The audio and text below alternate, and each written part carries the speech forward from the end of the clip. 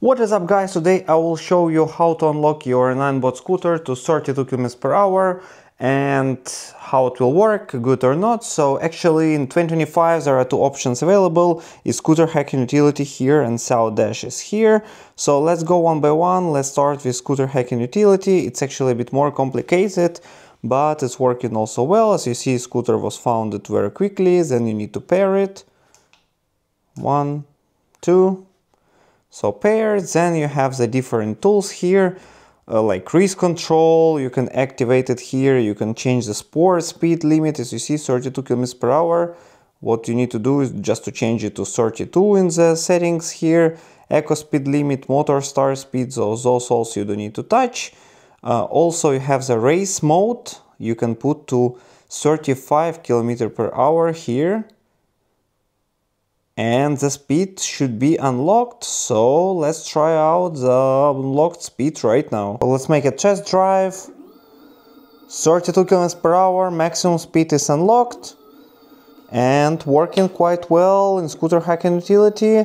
In case it's not unlocked for you you need to change the region here so just click change the region. And okay then you have uh, custom, European Union and uh, unbind. So you have custom here and if you have the Ninebot F2 Plus, you just change the, you should be similar first letters, don't look at others, actually the first letters are the most important. You set it up and then it will be working well. Then you have the second option, Xiaodash app here, so again it's visible. Let's click on it, so it's activated already.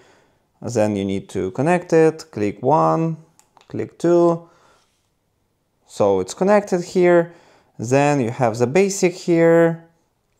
Also you see all the characteristics of your scooter, battery and others. And actually what you need to do, you have this unlock higher speed in sport mode. Also click on this, so it's activated then you should get the speed more than 30 kilometers per hour. So again, uh, I will check it out right now with you. So let's enable it and disable. Scooter enable and go out of parking mode and try it out. So 32 km per hour unlocked and working quite well. In case you still have some questions, just leave in the comment below, put the thumbs up and see you next time.